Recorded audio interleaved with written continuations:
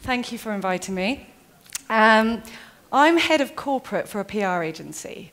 So, um, not quite as creative as um, the lovely Ricardo, am I right? Who went before me. Um, but hopefully it will be interesting for you. So, when I first started in this business, um, we used to fax press releases to journalists. And journalists also only dealt with one beat. So, if you had an automotive journalist, that's all he did. And so, as a result, they spent a lot of time on very long lunches at the expense of, of clients. Very nice. We also used to demonstrate our impact through coverage books. Big coverage books meant you were very successful. Small coverage books meant you were very intellectual. Um, and that was it. That was our entire form of communication. But things have changed, obviously. I believe we're at a tipping point. It kind of started with the Arab Spring, where you saw social media actually become something beyond just a channel for communication. It actually galvanized people. It became an engagement tool. It ensured that communities on the ground were able to talk to each other in a medium that nobody had previously understood. And it gave impact and credence to an unsung voice of people. Now, it's changed even further. A lot of people have been talking about this, and from a news media perspective, it was very interesting, particularly from the UK, because we saw social media actually become the primary form of content. So you have the likes of Periscope, where it meant people were live streaming the terror as it happened. This is really different. And you know, as a communicator, how do we actually communicate when we're no longer in control of the conversation? So we have what is called, uh, we, we always create labels. I, I work in PR, I spend my entire time creating labels. So we've created this label called an accidental journalist. So you'll see this, and you've probably seen this quite um, frequently. When an airplane crashes or is, you know, something happens at the airport, it's no longer the airplane spokesperson who tells you what is happening. It's actually the person on their phone tweeting the situation.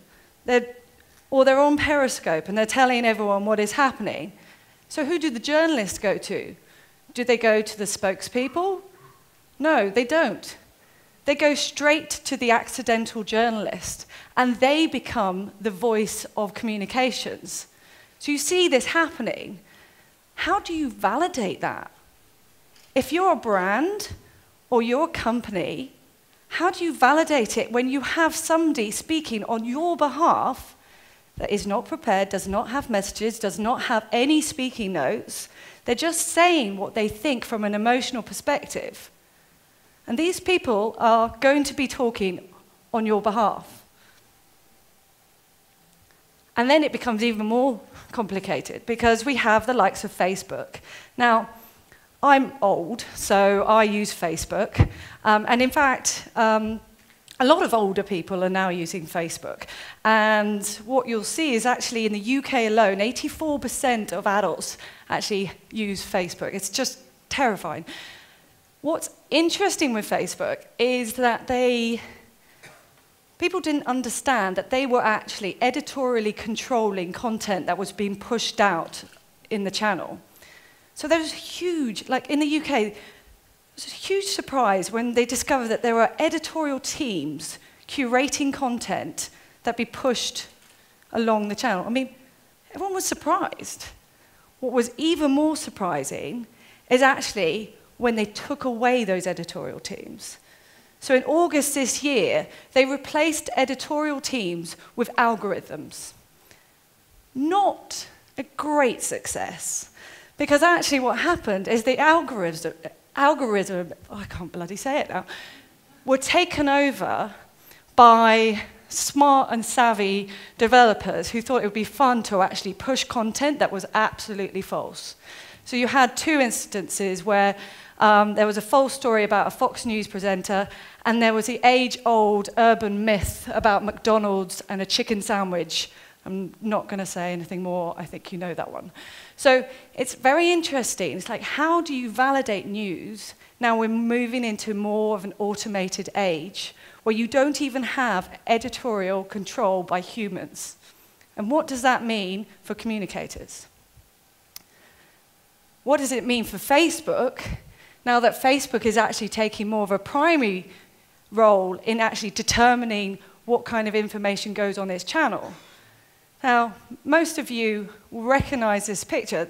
For me, this picture encapsulates um, the horrors of war. For Facebook, it is an image of a young person completely naked, and therefore it should not be distributed on its Facebook channel. Where have we, how have we got to a situation where we're allowing a channel to dictate and censor in what is supposed to be a democratic society? And yet, it took down this picture, not once, repeatedly because it felt it was inappropriate.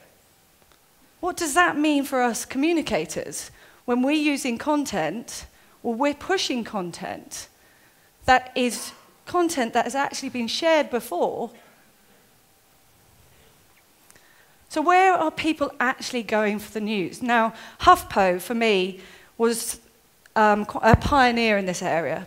HuffPo understood that traditional news channels weren't really reflecting what people actually wanted. And so HuffPo was one of the first to actually start using um, individuals to actually articulate their voice. And then any good communicators will use HuffPo for opinion pieces and actually give a very distinctive point of view. It's developed even further. So BuzzFeed, for many of my clients, they, they see BuzzFeed as a great place. It's like, 10 reasons why you have to live in London. Click this if you think that you heart Justin Bieber and everything he's doing. It's no longer like that. Um, a month ago, we had the editors of BuzzFeed into the agency. And one of the things that they're saying is actually, because of the luxury of having advertisers wanting to be on BuzzFeed, they've actually got more money to put into real journalism. So they've actually got a team that does investigative reporting in a way that, if I go back to those journalists I talked about at the start, the ones who used to have lovely long lunches and just cover one beat, now they cover several beats and they have very short lunches because they have no time, because subscriptions are down, because circulation numbers are, are down, and because they're dictated to by advertising revenues. Whereas the likes of BuzzFeed, and the likes of Vice are actually where people want to put their money. And so that is where you're finding real investigative journalism, and you're finding journalism that appeals to particularly young people who are fed up of a diet of blandness and, and actually want to see an opinion. Reddit is another interesting space. So, Reddit is another community which started off as a blog but is quickly growing momentum, where people actually have an opinion. And what does this tell us for communicators? It is no longer good enough to broadcast what you think. If you just push information out there, people will get pissed off. What you see, the ones that are actually succeeding in this world, the ones that actually are delivering good content, interesting content, are the ones that engage with their audience. And that is why these guys are successful. So you could just put your head in the sand.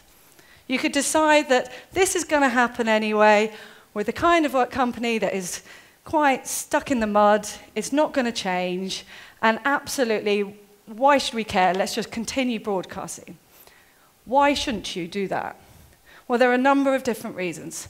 Firstly, and I'm going to say this because I'm head of a corporation, it impacts, like, good reputation impacts on your share price. It impacts on how you actually are able to do business.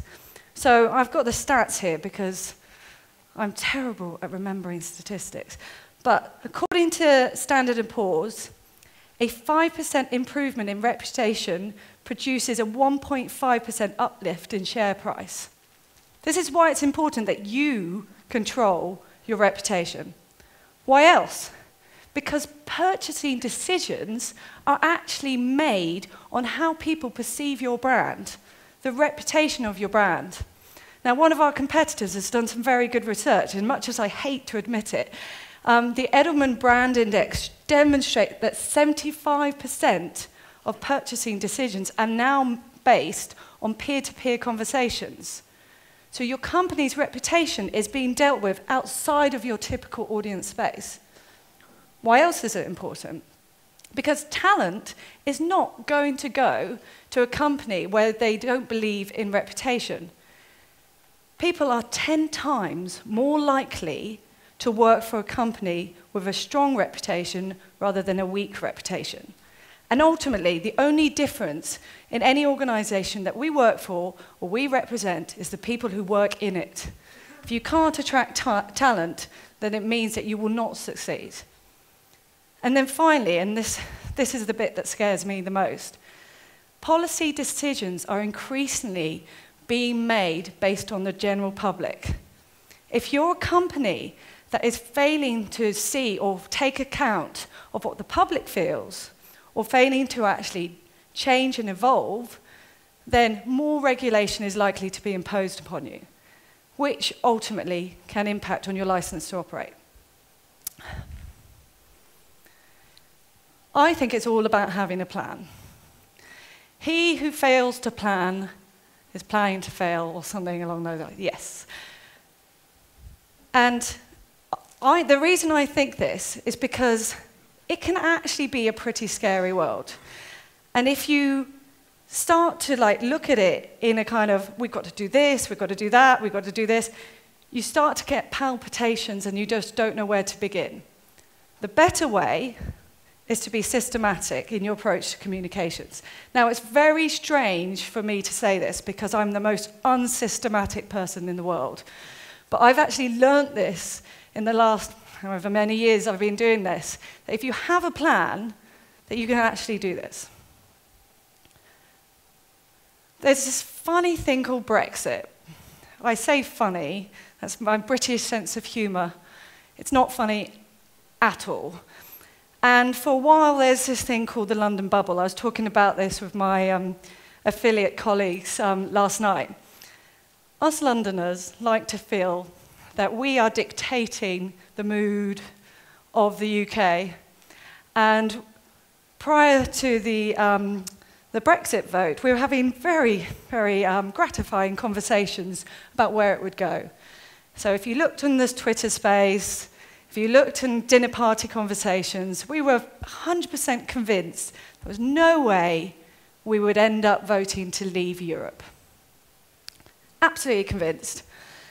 Clearly, we exist in a London bubble. And the reality is, any communicator should be aware that conversations do not just happen at a certain level. Not only do they not happen, that pretty influential decisions can be made by not understanding your audience correctly. Now, what's this got to do with Marmite? Well, as you'll know, Unilever had a number of conversations with supermarkets about the consequences of Brexit. And some of those conversations were effectively, we're going to have to put our prices up across a range of products in order to kind of cushion some of the costs that are being put on us. But probably too early to tell, but I would say probably not going to be. God, I'm really sticking my neck out. Is this being recorded? Um, and the reason, in my mind, is because Unilever has an extremely strong reputation.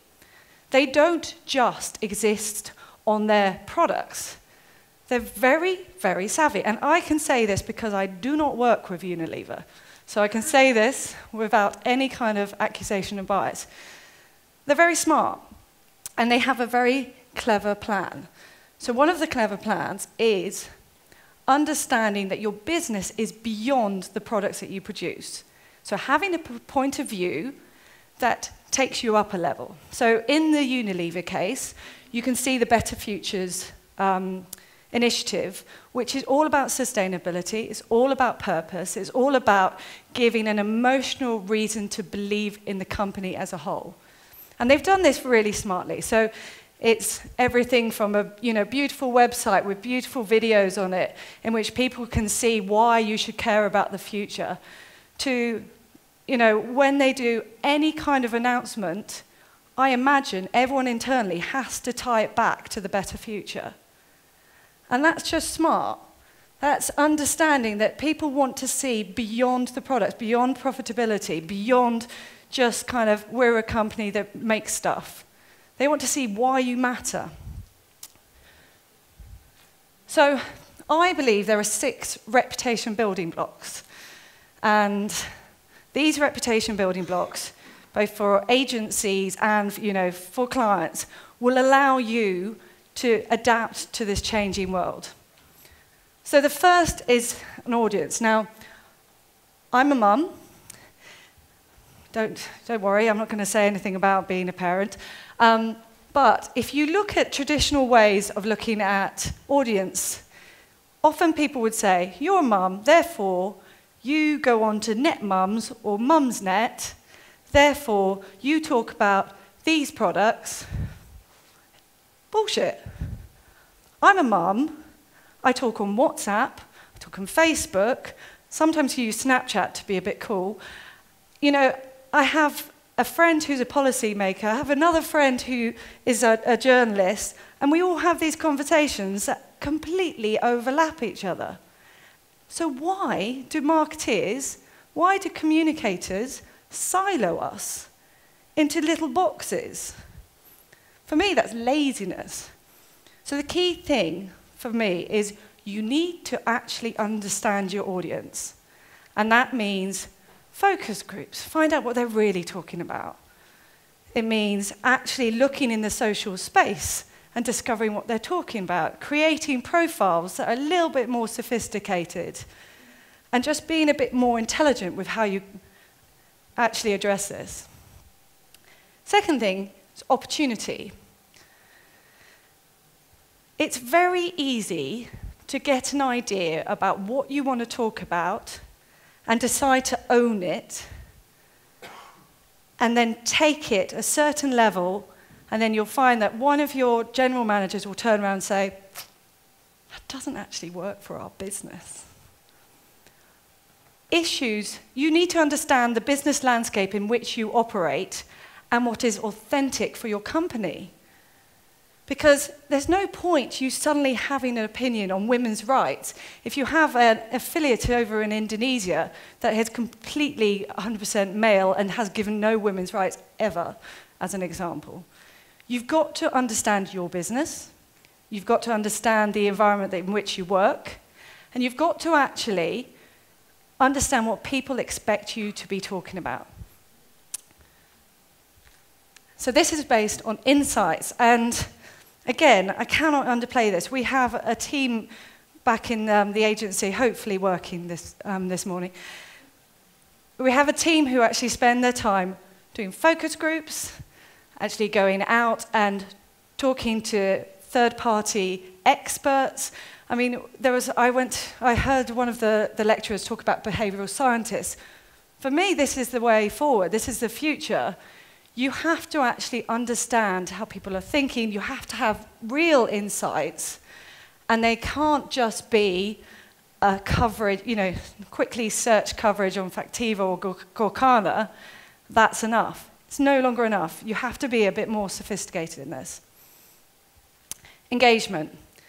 So, back to my broadcast challenge. People don't want to be shouted at. We want a conversation. We want to talk about things. But how do we actually create something that people want to talk about? Well, if you've got your insights and you've got your analysis, then you can actually decide where the gap is.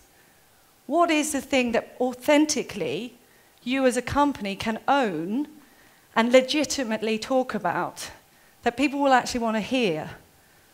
how can actually you create a point of view that is not just you saying this because you make yogurt, for example.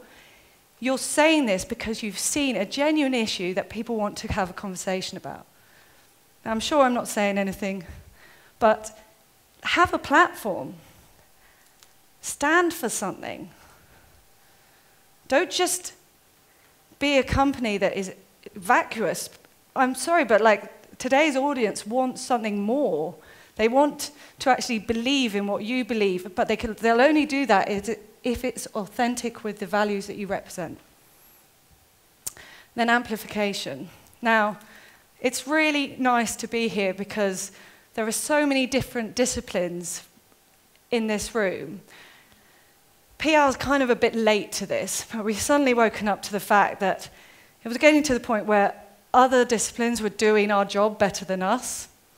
So I'd see like paid content that was brilliant PR, but effectively it's because the media houses appreciated that we were failing to understand the environment in which we're working.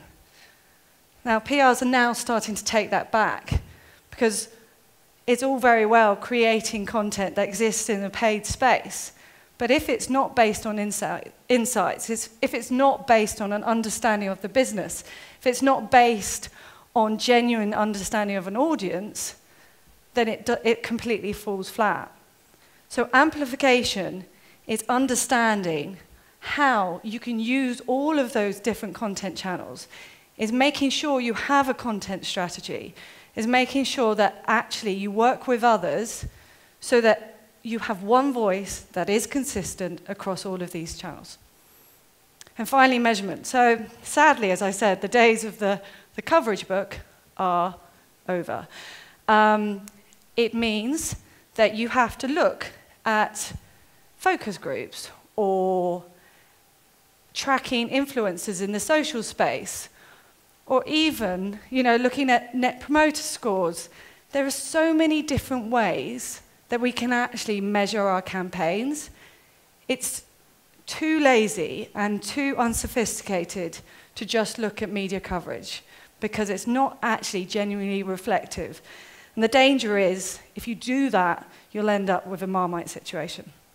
So that's it. I think I've rattled through this. So um, thank you. That was me. And I'm going to ask you if there's any questions, but I don't know if I want to answer any. Any questions?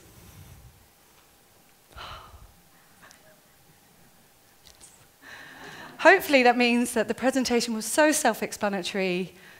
You have no. If you do have any questions or you want to tweet, um, please send them to me. Thank you, everyone.